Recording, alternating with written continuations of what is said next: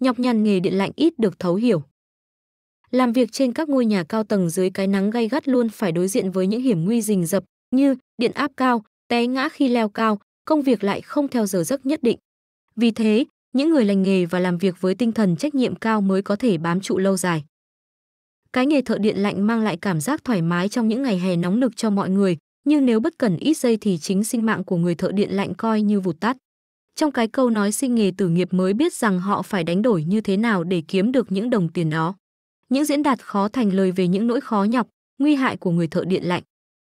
Mỗi người bình thường đều suy tư để chọn cho mình ít nhất một công việc chính để làm kế mưu sinh và phát triển gọi là chọn nghề. Đối với những người đã chọn nghề thợ điện lạnh có lẽ cũng không thể hình dung được hết những gì mà nghề này phải trải qua. Chỉ chính bằng thực tế trải nghiệm và thời gian sống cùng với nghề với đồng nghiệp khám phá thêm qua nhiều sự việc, nhiều con người trong nghề là cả một quy trình để hiểu được nghề nghiệp. Tai nạn gây thương vong nhiều nhất là rơi từ trên cao.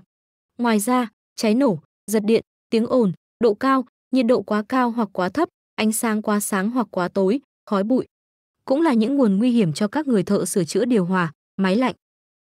Vào mùa nắng nóng công việc lắp đặt bảo dưỡng điều hòa tăng cao. Có rất nhiều điều hòa thường được lắp đặt ở những vị trí treo lơ lửng buộc người thợ điện lạnh phải treo người ra ngoài để làm việc. Giả dụ thiếu những thiết bị bảo vệ hay chỉ cần một sơ sót nhỏ thì thợ điện lạnh sẽ gặp nguy cơ bị ngã hay thậm chí mạng vong.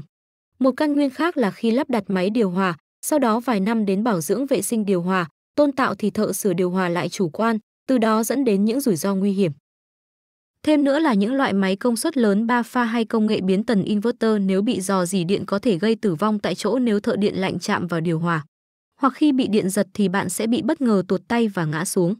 Do đó, thợ sửa điện lạnh cần phải dùng bút thử điện già trước khi chạm vào máy điều hòa. Một cách khác là bạn có thể dùng lưng ngón tay chạm vào thiết bị.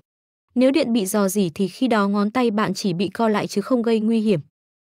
Tóm lại thì nghề lắp đặt, sửa điều hòa là một nghề nặng nhọc, nhọc nhằn, độc hại và tiềm ẩn nhiều hiểm nguy do chỉ cần một phút sơ sót vì thiếu cẩn trọng thì tai nạn có thể xảy ra.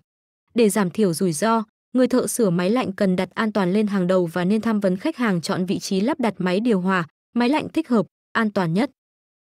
Để đảm bảo an toàn và linh hoạt khắc phục sự cố hỏng hóc của điều hòa, máy lạnh thì những người thợ kỹ thuật cần được đào tạo nâng cao nghiệp vụ và trang bị thêm những thiết bị bảo hộ an toàn lao động để yên tâm làm việc, giảm thiểu những tình huống đáng tiếc xảy ra.